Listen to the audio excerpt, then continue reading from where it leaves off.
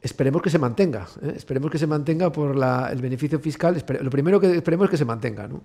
Eh, y, eso depende de la administración. las autoridades deportivas, el secretario de Estado, la ministra, yo creo que tienen claro que esto no se puede caer, básicamente porque es exitoso, porque nos ha traído donde estamos, ¿no? Y porque, y porque hemos conseguido que un montón de empresas privadas eh, se incorporen a un, a un programa que es que lo están financiando ellos en su gran mayoría.